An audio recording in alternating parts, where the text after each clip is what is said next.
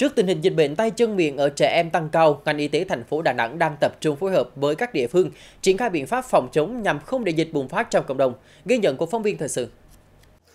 Những ngày gần đây, mỗi ngày khoa y học nhiệt đới Bệnh viện Phụ sản Nhi Đà Nẵng tiếp nhận khoảng 20 bệnh nhân điều trị nội trú. Hiện nay, khoa có hơn 100 bệnh nhân tay chân miệng đang điều trị. Hầu hết các ca bệnh ở thể vừa, trong đó nhiều trường hợp trẻ được đưa đến cơ sở y tế khi đã có biểu hiện rõ rệt của bệnh. Từ hôm vào viện đến nay là tiến triển rất là nhanh. Cái sáng bữa nói là là mấy ngón tay ni là đỏ hết, đỏ hết nè. Bàn chân này thì đỏ dưới cái bàn chân này với cái ngón chân này.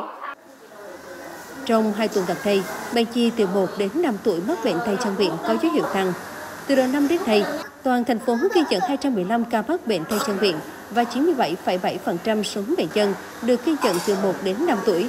Theo các bác sĩ chuyên khoa, đối với trường hợp trẻ mắc bệnh tay chân miệng, diễn tiến bệnh rất nhanh. Vì cái diễn biến của bệnh nó diễn biến rất là nhanh và nó có một số biến chứng nguy hiểm về thần kinh và ảnh hưởng đến vấn đề về tim mạch và hô hấp. Do đó chúng ta không nên cái chủ quan trong vấn đề theo dõi và điều trị. Bệnh tay chân miệng ở trẻ xuất hiện và có nguy cơ bùng phát vào tháng 3 đến tháng 5 và từ tháng 9 cho đến tháng 11, trong đó tập trung ở trẻ dưới 5 tuổi. Trước diễn biến dịch bệnh có dấu hiệu gia tăng, ngành y tế Đà Nẵng yêu cầu các đơn vị liên quan tăng cường phối hợp triển khai các biện pháp phòng chống dịch bệnh trong cộng đồng.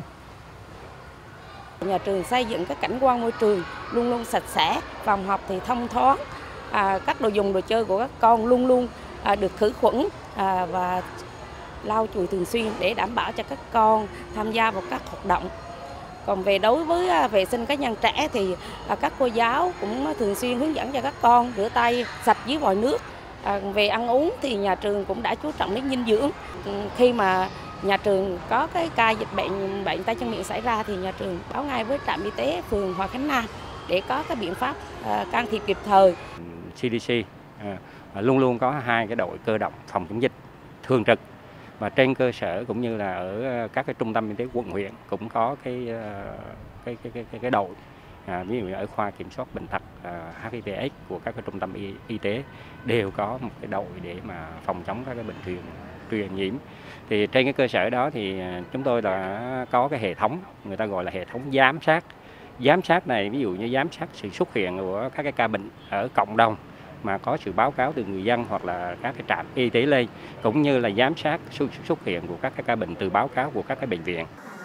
Mặc dù chưa có dấu hiệu bùng phát mạnh, nhưng ngành y tế khuyến cáo các địa phương, cơ sở giáo dục, gia đình cần chủ động chăm sóc, bảo vệ con em mình.